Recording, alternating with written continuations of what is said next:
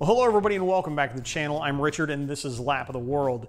You are joining us for part four of our major service series on my 1992 Acura NSX. At 289,000 miles, it was due for probably the third or fourth timing belt and water pump change.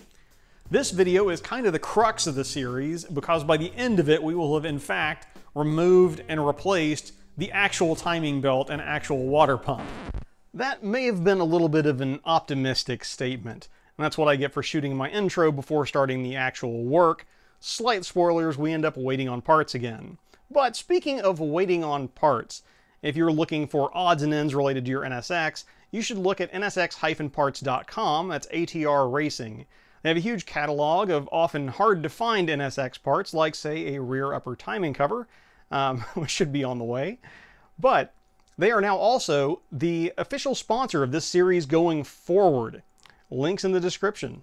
All the videos up to now have been kind of dealing with ancillary stuff and disassembly to get to this point, but this is the part that we absolutely have to get correct. So it's okay if those are the only two things that we do in this video because we're going to take our time and take every precaution and make sure we get things exactly right the first time.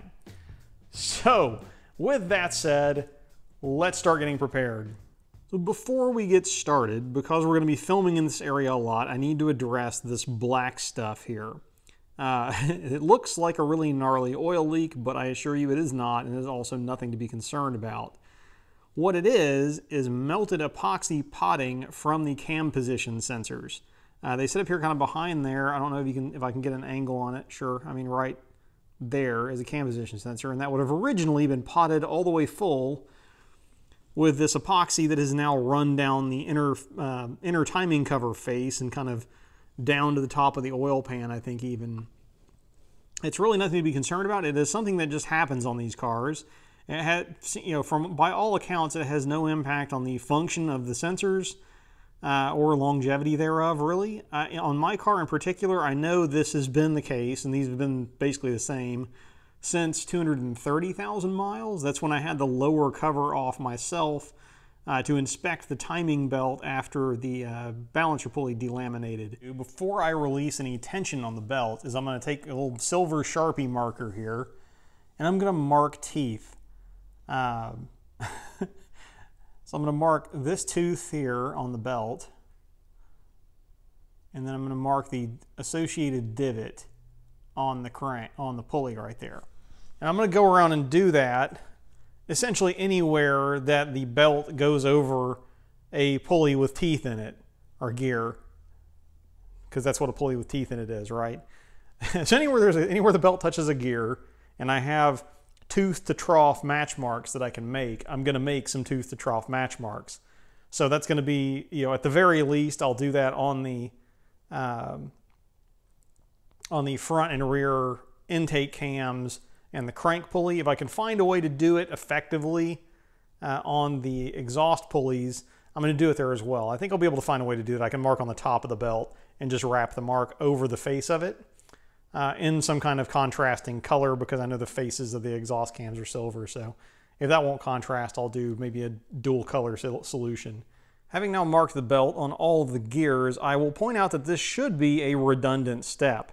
You shouldn't have to do this, but it was spiked out in one of the write-ups that I read as kind of a, a, cheap insurance policy should things move around uh, unexpectedly during the process. So, uh, one other thing they did that I did not is they put the match marks on the uh, on the back side of the belt and pulley because you can actually, if you use a mirror or look from the other side of the car, you can look directly, like straight on with those with no parallax effect. Uh, I just put them where I can easily get to them uh, and either use a mirror or use something else to look straight at them from the front because from the front is the perspective from which I will be looking at them while I'm putting the new belt on. And now with my hopefully redundant marks in place, it is time to relieve the tension and actually remove the belt.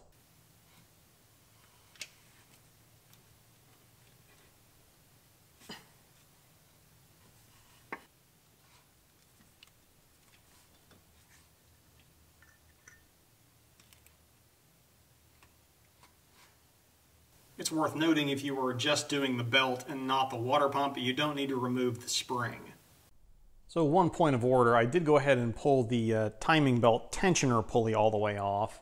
Uh, this is one is of unknown uh, age and uh, has some has some odd marks on it. I don't know what that's from. But also, let me get this closer to my microphone and show you something that I'm uh, more interested in.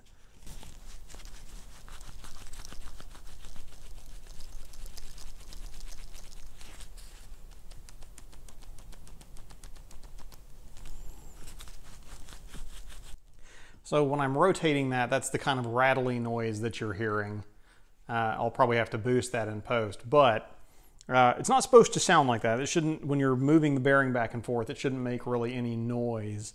Uh, and this one's also a little bit loose feeling this way, although that's not the way it's loaded, so I'm not too concerned about that. Here is the uh, new, I'll do the same thing with the new bearing, or the new, or rather, well, new bearings, yes, but the new pulley bike for comparison.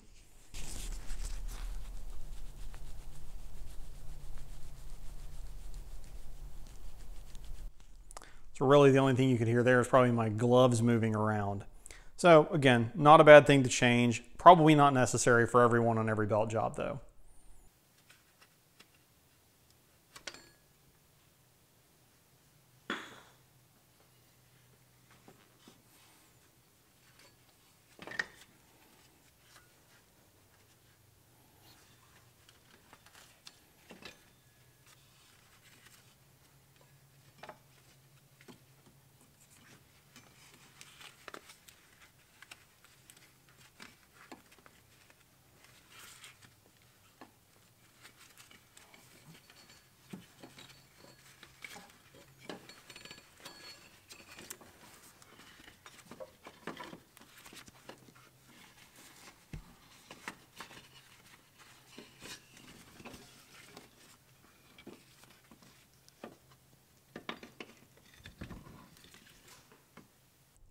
So now having the belt off the car, were we, uh, are we dodging a bullet or were we ahead of the game?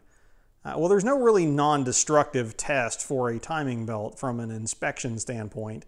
Uh, the way you kind of can check is you can flip it inside out, which is already a bad idea, and then you fold it to kind of what's, this is really probably beyond its minimum, uh, minimum diameter or minimum design diameter there, which means that this is now garbage whether I like it or not, and you look for cracks. Uh, this belt looks, honestly, you know, if I didn't have one to put right next to it from a coloration standpoint, I would just assume it was new. Uh, it is in great condition. Now the service interval for this is 90,000 miles or six years.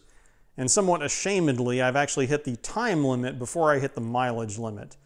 Uh, part of that is on account of that I changed it off cycle uh, so this belt is only 200 and, since 230,000 miles because I changed the belt uh, kind of as a proactive just in case, or had the belt changed, I should say, as a proactive just in case after the uh, crank pulley delaminated and ate my timing cover, uh, just in case any plastic shards had gotten in there and uh, and compromised the integrity of the belt that I couldn't see with my cursory inspection. So as I said, the major service interval on these cars are generally six years or 90,000 miles. That may have been updated and extended in a later edition of the shop manual, but that's what I'm looking at here today. If I find that's different, uh, I'll put it in the description, or you guys can feel free to correct me in the comments. But in that major service, between these two major components, it lists the timing belt as a replace item and the water pump as an inspect item that's an interesting kind of situation you end up in there because uh, you know I, but i guess I, I, guess that's right. So if i were this is not service advice. But if my car were a kind of traditional weekend warrior otherwise garage queen i could totally see doing the water pump every other timing belt service. Because really the the the wear mechanic on the water pump is going to be the bearing and the wear on the bearing is definitely going to be a number and speed of revolution issue. So if the car is not being driven as much, the timing belt, or the, the water pump rather, is not seeing as much wear. Whereas the interval on the timing belt, because rubber, um, it will just degrade with use or, you know, whether you're using it or not. In fact, if, if you're using it less, it can actually be worse. Uh, so having that changed every six years, I think, is probably a must, or whatever the revised uh, revised standard is. Now, of course, mine is older than six years and is in great condition, but I also use the car a whole bunch, and I live in an environment, uh, or have the car has spent most of its time in that interval in an environment that is, I, I would guess I would call it uh, conducive to long life of rubber components. So it's not a particularly dry area. It hasn't been exposed to UV, so on and so forth. Not it hasn't been subjected to too many huge temperature swings uh, or used when it's been exceedingly cold. So that's my caveat there. For the way I use the car, I'm probably going to continue doing the water pump every belt job because it's not that much more. The worst case scenario there, just for the record, as far as the way I can you know think through this, is the bearing seizes in the water pump.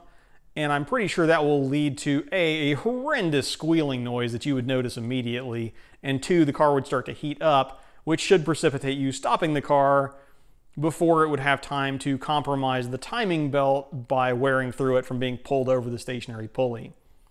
Um, so with that kind of worst case in mind, you know, I've actually had a water pump seized on me before, not in this car, on my MR2 Turbo.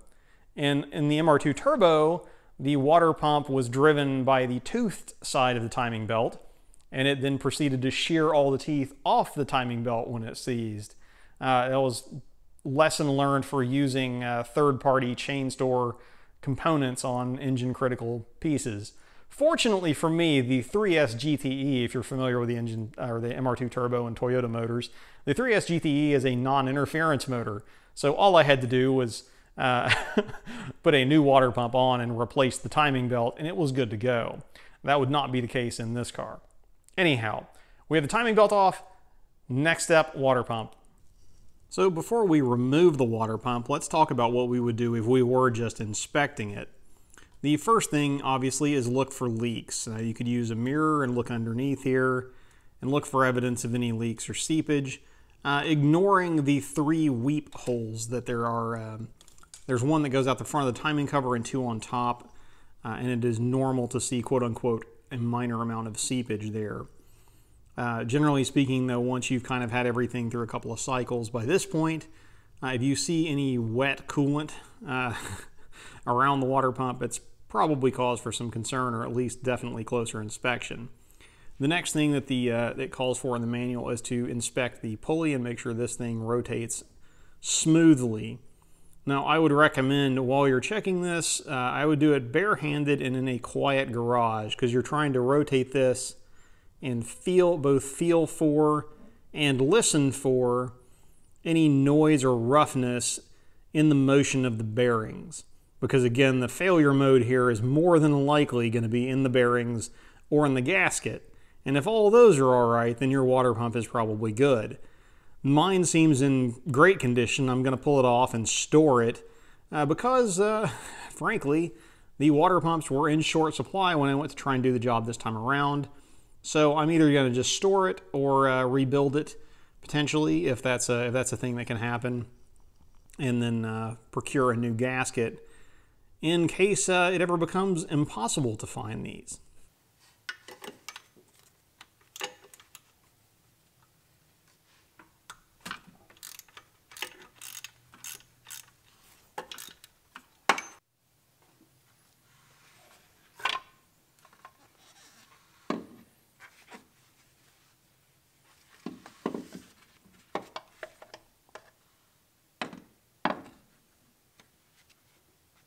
With the water pump out of the car, I found, unfortunately, that I'm going to need to pause short of my goal in this installment. That's what I get for filming my intro before starting the work, but it is what it is. Uh, I'm going to need to do a little bit of cleaning, which is kind of ancillary, but mainly I need to procure a couple of dowel pins. Uh, there are a couple of dowels that go into the water pump, and I'll get into more detail on, as to why this is important in the next video, because frankly, I just don't want the details because they are important to get lost at the end of this video because I know by this point about 60% of the people that started watching are no longer watching. Shame on you, I see the analytics. I'm going to start putting important details in the last like two minutes just so people have to keep watching. But no. Um, so, oh yeah, I'll get into why that's important in the next video. But for now, I have to go and get the dowels so that, that I can then explain why they're important and then put them in when I install my new water pump. And in the meantime, I also need to do a little cleaning because somebody installed the old water pump using Honda Bond, which is, again, consensus in the community with some known experts is that's also a no-no. It should go in dry. I will, again, cover that again in the next episode. You see where this is kind of going at this point. So we're going to wrap it up today. I do want to give a, uh, excuse me, give a special shout out to uh, Christian at ATR Racing, who is uh, going to be the official sponsor for the duration of this series. Um, I sort of threw this is a, a, last minute edit, so I don't have everything in there that I wanted to have in there for his benefit um, and his business's benefit. But if you are looking for NSX parts or random stuff that you find missing, uh, when you're doing a project, look him up. Uh, it's ATR Racing, aka NSX-parts.com.